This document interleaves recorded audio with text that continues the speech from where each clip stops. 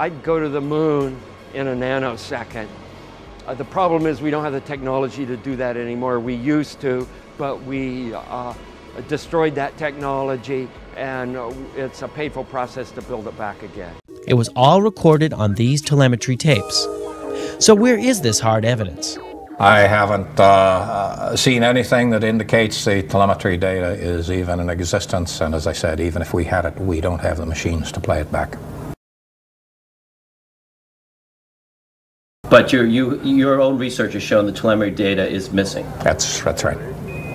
Could this be true? Mankind's first interplanetary exploration and the original science data is missing? 11, this is Houston, radio check, over. If it's anywhere, it should be here at NASA's Goddard Space Center in Maryland, home to the National Space Science Data Archives. This film you're making now, what is it? Uh, does it have a name? I mean, do you have you have a name for it yet, I or think you? you're calling it Did We Go? Did we go? Okay, okay.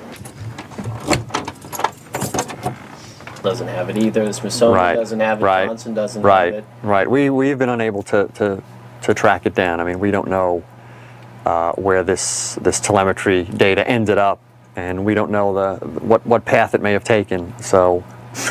Unfortunately, I'm afraid I can't really give you much of a clue as to as to where this data ended up and whether it, it still exists or not. NASA admitted that it had lost lost the original footage of man's first steps on the moon. NASA has lost all the original Apollo moon landing footage and telemetry data.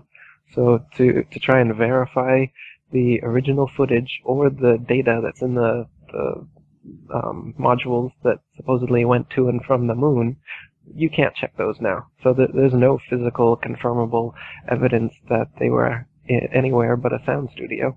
Yeah, and I want the audience to understand what you just said. Folks, what, what Eric is saying that the most heralded, most famous achievement, accomplishment of mankind, of humans, the landing on the moon, NASA lost everything. Oops, $30 billion. Sorry.